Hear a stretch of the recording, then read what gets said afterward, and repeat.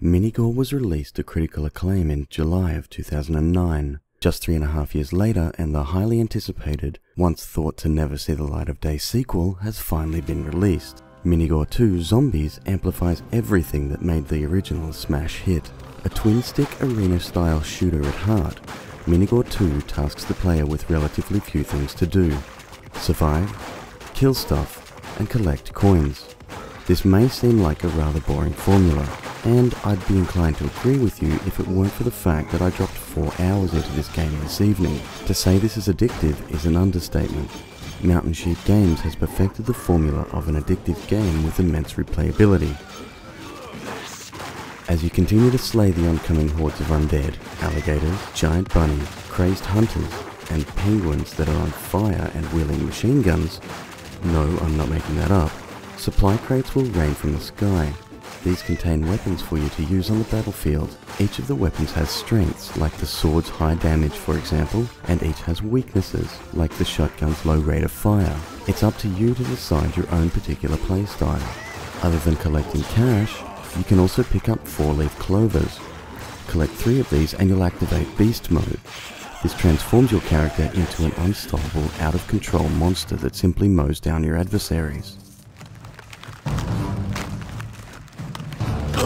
Must be my lucky day!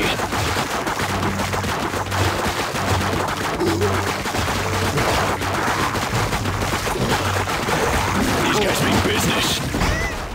The mission structure is laid out in an all too familiar format. You're given three at any particular time.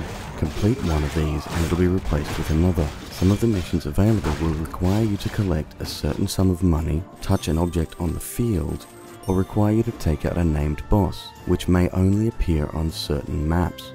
Money earned can be spent on the unbelievably large number of unlocks and upgrades available. You decide whether you want new weapons, upgrade existing ones, extra health, faster run speed, new levels, or upgrade the individual characters that you play with.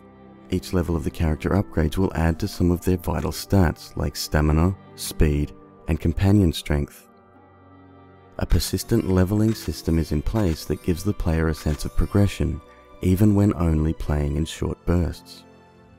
There are 20 playable characters, including some characters that appear in other games, like Hook Champ and Zombieville USA, 60 different enemy types, 7 unique bosses, over 10 weapons, loads of different arenas, and over 300 challenges, all from a game that costs $1.99. Not only that, but the more than capable graphics engine can display 150 enemies on screen at any given time, and looks outstanding on the iPhone 5's Retina display thanks to some powerful lighting techniques and particle effects.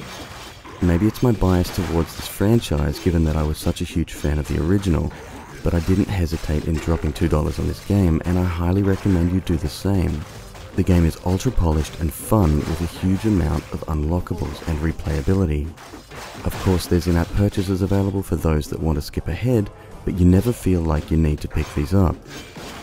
It's not surprising Mountain Sheep released such a polished game given their track record, and dare I say it, but Minigore 2 Zombies may even find a spot in my top 10 games of the year. Thank you so much for joining me today, folks. This has been another episode of Let's Check Out Some iOS Games. My name's Alex, and I'll see you again next time.